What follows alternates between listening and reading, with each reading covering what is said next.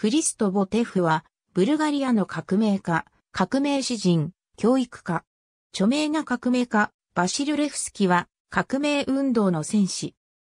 現在のブルガリアのカロフェルで生まれた。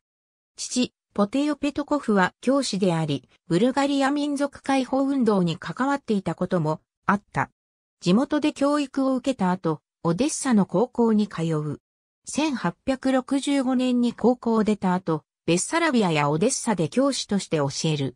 故郷に帰還後、ブルガリア独立運動に身を投じる。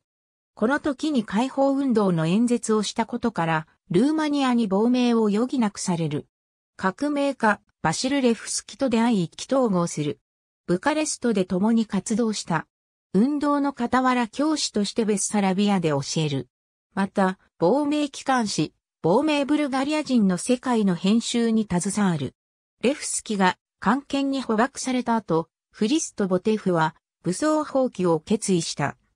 1875年の暮れに、ブルガリア中南部の町スタラザゴラで小規模な武装放棄を行うが、準備不足に加えて兵員がわずかだったためオスマン、帝国の関係にあっけなく鎮圧された。フリスト・ボテフは、ルーマニアに亡命した上で、ブルガリアの革命家を結集させて、再起を図る。1876年の初頭に、ルーマニアで武装放棄へ向けての準備を始めて、人や武器を備えた。フリスト・ボテフは、資金の寄付を呼びかけ、各地を回って義勇兵を募った。また、ボイボダとして知られる元ブルガリアのゲリラ指導者に司令官として指揮を依頼したが拒否された。結果的に準備不足だったが、ドナウ川を下るため1876年5月の終わりに、フリストボテフと約200人余りの一行は1851年に、オーストリア帝国の大ブダで建造された全長57メートルであるラデツキー船に乗り込んで、ベケトから目的地であるドナウ川沿いのコズロドゥインに向かった。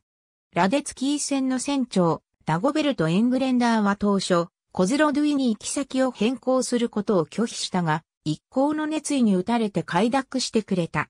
フリスト・ボテフは、コズロドゥイに上陸した後現地の人々に独立革命を呼びかけた。フリスト・ボテフは武装放棄を開始したが、オスマン帝国の正規軍とバシボズク軍が到着後に、交戦になって一旦退却した。それから、オコルチッツァ山の近くでバシボズク軍と戦った。6月1日、日が暮れるや、否や、最後の戦いが始まった。オスマン帝国軍の圧倒的な火力の前に交代して、やがて兵士が撃った弾丸がフリスト・ボテフを貫いて戦死した。ありがとうございます。